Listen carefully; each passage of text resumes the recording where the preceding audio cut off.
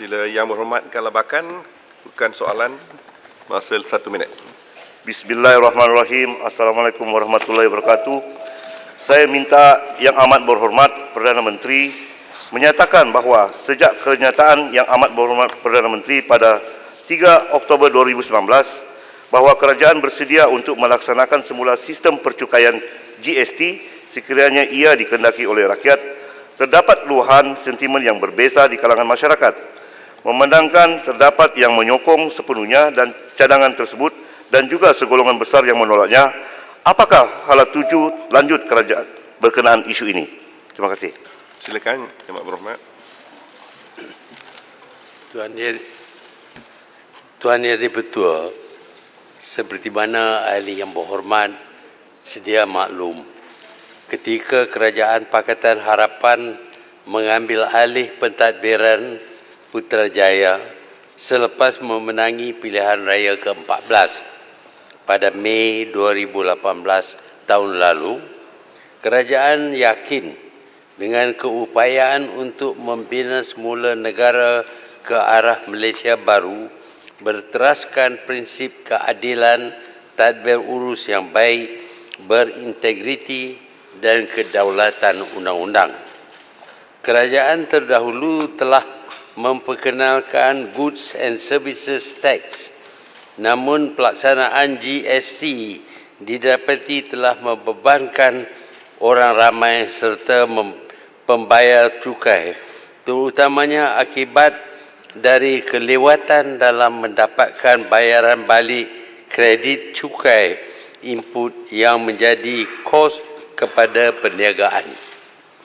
Pelaksanaan cukai jualan dan cukai perkhidmatan ataupun SST adalah bagi menggantikan GST berhubung dengan cadangan pelaksanaan semula GST didapati hanya memerlukan kajian yang lebih lanjut. Penelitian perlu dibuat terutamanya ke atas impak kesan kenaikan harga kepada pengguna, kadar inflasi dan pertambahan kos pematuhan kepada peniaga kerana terdapat keperluan untuk mengubah sistem perkomputeran dan latihan semula kepada kaki tangan di samping bayaran balik cukai. Perubahan sistem percukaian tidak wajar dibuat terlalu kerap kerana ia akan mengurangkan keyakinan pelabur dan memberi imej yang kurang baik. Kerajaan pada masa ini sedang menjalankan proses penambahbaikan bagi memantapkan lagi pelaksanaan cukai jualan dan cukai perkhidmatan SST. Sekian, terima kasih. Terima kasih, Yang Berhormat. Soalan tambahan pertama, Yang Berhormat Kalabakan, silakan. Terima kasih, Yang Amat Tun. Uh, kalau dengan jawapan itu kita tidak perlukanlah sahabat kita dari sebelah yang menawarkan dirinya menjadi konsultan percuma untuk GST. Kita mengharapkan uh, konsistensi yang dengan agenda-agenda pembaikan negara yang sedang dilaksanakan dan bakal dilaksanakan seperti agenda kemakmuran bersama. Sabah amat mengharapkan kebersamaan agenda-agenda baik negara sampai ke Sabah.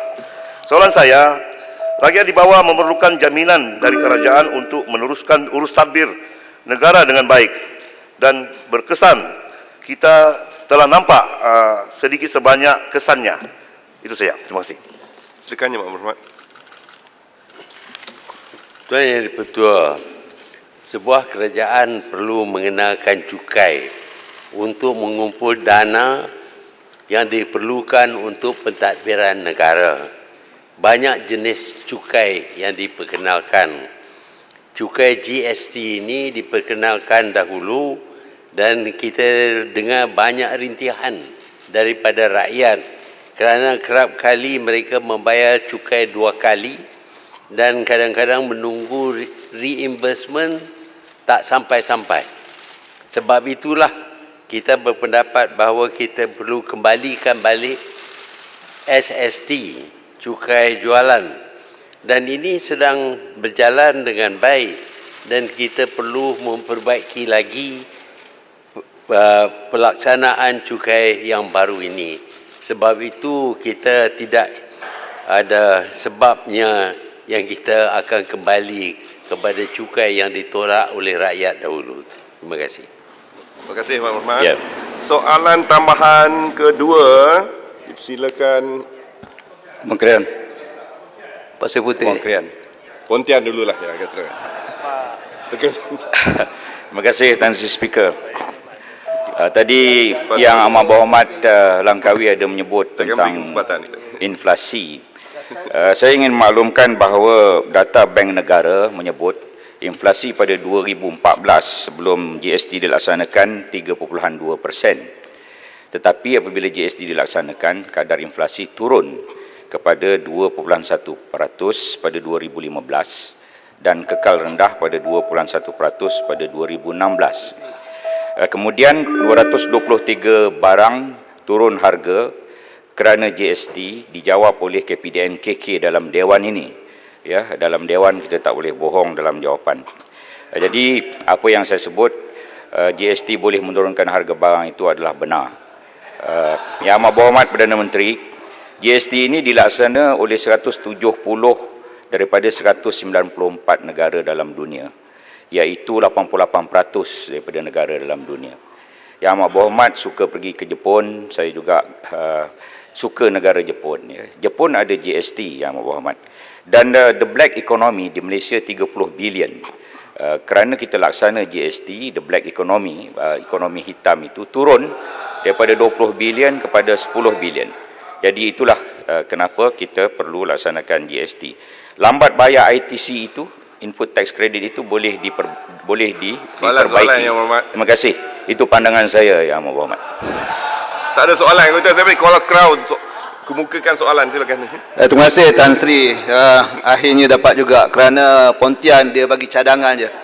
Uh, GST uh, telah ditukar kepada SST pada 1 September 2018 dan uh, kerajaan mensasarkan uh, pada tahun 2019 22 bilion. Dan Timbalan Menteri Kewangan mengakui bahawa terdapat shortfall. Uh, apabila GST dimansuhkan dan dilaksanakan SST se- sejumlah 20 bilion. Jadi bagaimanakah kerajaan untuk menampung shortfall 20 bilion ini? Dan adakah dasar-dasar eko- ekonomi dan juga dasar-dasar penjimatan kerajaan sekarang dapat uh, mengembalikan uh, shortfall 20 bilion tersebut? Terima kasih Yang Amat Yang Amat Berhormat Perdana Menteri. Sila Yang Amat Berhormat. kerajaan yang terdahulu mendapat nikmat daripada nasihat konsultan yang tidak bertauliah. Sebab itu sebab itu mereka memperkenalkan GST. Memang kita dapati shortfall dalam kutipan cukai di bawah SST. Tetapi shortfall ini bukan kerana SST itu silap, tetapi memang pun apabila sesuatu cukai diperkenalkan, pada mulanya kutipan cukai itu selalu mengalami shortfall kerana adjustment yang perlu dibuat oleh pegawai dan juga mereka yang membayar cukai itu. Tetapi saya yakin dalam dalam tahun-tahun yang akan datang ini SST akan melebihi kutipan daripada GST. Terima kasih kerana offer nak jadi konsultan. Maka rosaklah kerajaan kalau kons- kon- konsultan. Ya Muhammad, kalau kembalikan GST bahawa ada nasihat yang tak betul di kalangan pihak kerajaan Ya Amat Muhammad Perdana Menteri. Saya percaya rakyat akan nakkan kembali pada GST kerana Soalan dapat tambahan, dan ekonomi yang merudum sekarang. Silakan. Tambahan belah sini pula. Kanga, Kanga silakan. Kanga bangun dulu. Terima kasih Tan Sri Yang Dipertua. Saya percaya GST. saya percaya GST diperkenalkan sebenarnya bukan untuk menurunkan harga barang. Objektif percukaian adalah untuk memenuhi keperluan belanjawan negara. Dan Bank Negara Malaysia sendiri uh, menyatakan pada tahun-tahun awal kenaikan memang berpunca dari GST dan kemudian kenaikan uh, dah diserap dan ber- berpunca daripada kenaikan harga minyak. Itu Pontian kena baca laporan Bank Negara. Cuma soalan saya ialah uh, GST ini tujuan diperkenalkan antara lain ialah untuk untuk uh, kata menghalang pelarian cukai. Jadi kalau boleh minta yang berhormat yang amat berhormat Perdana Menteri jelaskan bagaimanakah SST dapat menampung objektif tersebut. Sebenarnya tidak berlaku halangan terhadap uh, pelarian cukai. Apa yang berlaku ialah kerap kali di bawah GST ini cukai dikenakan dua kali kepada sesuatu transaksi yang dilakukan. Ini yang menyebabkan rakyat dan peniaga terutamanya berasa tidak senang dengan cukai GST. Sebaliknya cukai SST ini sudah lama diperkenalkan dan tidak ada masalah yang dihadapi.